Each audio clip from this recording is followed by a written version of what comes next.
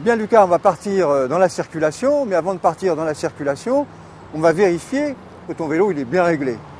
Alors, bien réglé, ça veut dire que la selle est à la bonne hauteur. Est-ce que ta selle est à la bonne hauteur? Eh ben vas-y, assieds-toi sur ton vélo. Eh ben non, parce que s'il était à la bonne hauteur, tu serais assis sur la selle, tu serais sur la pointe des pieds.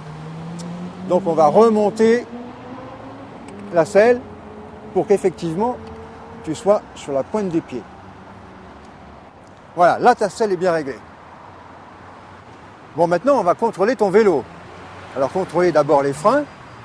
Alors pour contrôler les freins, tu vas descendre de ton vélo. Voilà. Tu vas serrer les deux freins. Et puis tu vas essayer d'avancer. Bah là apparemment, hein, on ne peut pas avancer, ça veut donc dire que les freins sont bien réglés. Et puis on va contrôler la pression des pneus. Alors, pour contrôler la pression des pneus, eh ben, on va appuyer sur les pneus sur le côté. Vas-y. Là, c'est bien dur, hein, pas de problème, c'est bien gonflé. À l'avant maintenant. Là aussi, c'est bien dur, c'est bien gonflé. Donc là, contrôle, c'est parfait. Bien, alors avant de partir, on va aussi s'équiper. Et l'équipement indispensable, c'est le casque. Allez, mets ton casque.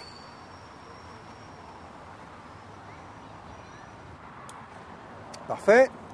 Donc pas trop en arrière, ni trop en avant. La sangle attachée. Voilà, c'est bien. Avant de partir, toujours contrôler son vélo. La hauteur de la selle, les freins, la pression des pneus et ne pas oublier d'attacher le casque. Bon, maintenant, Lucas, on va vérifier euh, que tu sais rouler droit, conserver une trajectoire rectiligne. C'est important dans la circulation de rester euh, bien dans sa ligne. Et pour garder une trajectoire rectiligne, il n'y a qu'un moyen, c'est de porter son regard au loin, là où on veut aller. Alors on va le vérifier ça. Je vais me mettre un petit peu plus loin là-bas, et puis tu vas venir vers moi. D'accord?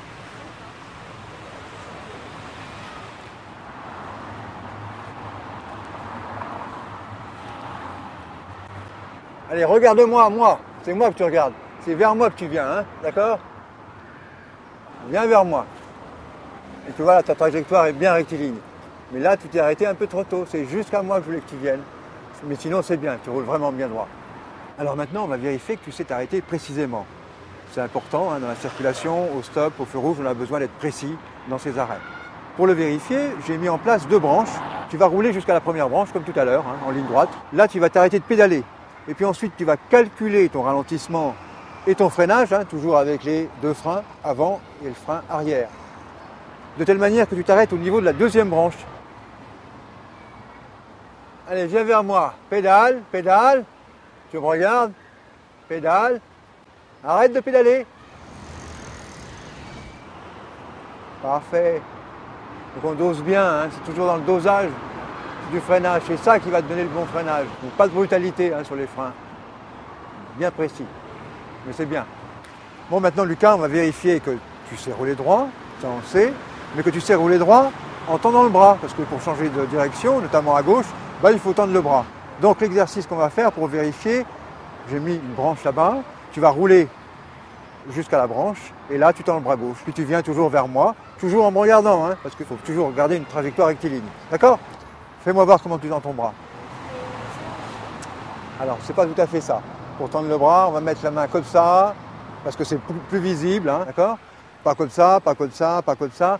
Vraiment en tendant le bras. D'accord? Allez, on y va.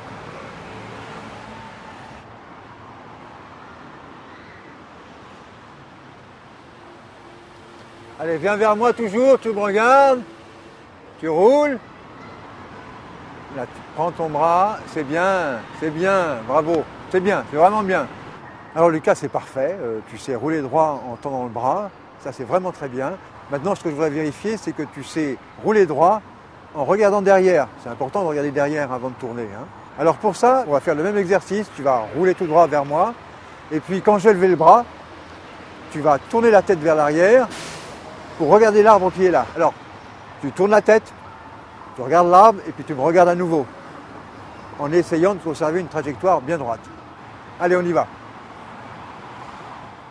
Allez Lucas, viens vers moi, hein Bien droit, bien rectiligne.